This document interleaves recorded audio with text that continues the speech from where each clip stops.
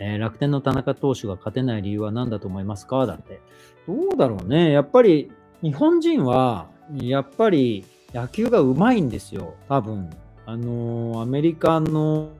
メジャーリーグの人より細かい野球がうまいんだと思うんですよ。パワーは絶対メジャーのがあるし、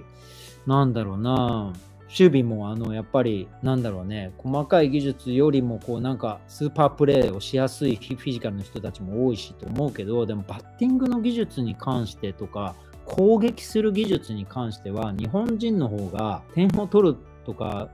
うん、塁に出るとか全てで上回ってるような気がするんですよね。だからマー君の全盛期のやっぱり150キロ超えの速球と140キロ超えのやっぱりスプリットでバンバン三振取ってた頃と比べると、まあ、まずストレートのスピードが落ちている。約10キロぐらい落ちている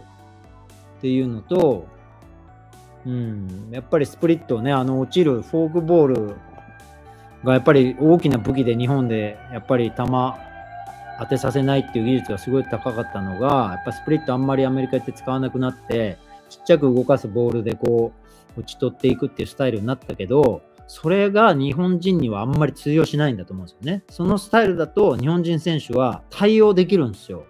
うん、だからマー君の素晴らしい技術をもってしてもその技術だけではやっぱかわせない技術が日本人の選手たちにある。選球眼もいい、うん、細かい変化にもしっかりバットついていくコンパクトなスイングする。もうとにかくタイミング合わせてブーンって振ってくるわけじゃないから。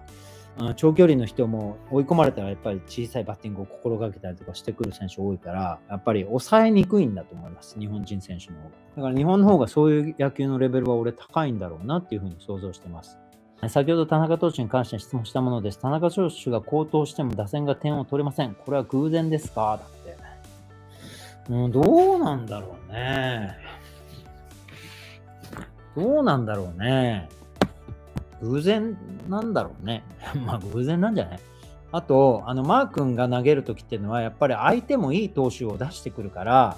やっぱりエース同士みたいな対戦になると、やっぱりなかなか点取れないんでしょうね。だけど、田中投手はやっぱりあの24連勝した当時のようなピッチングではないから、相手がそれ以上のピッチングをしてしまうっていうことがあるんじゃないかな。だからレベル高いんですよ、日本の野球って。本当レベル高いんですよ。マー君、あのマー君だって簡単に勝てないんだから。ね。すごいよね。日本の野球って本当レベル高いよね。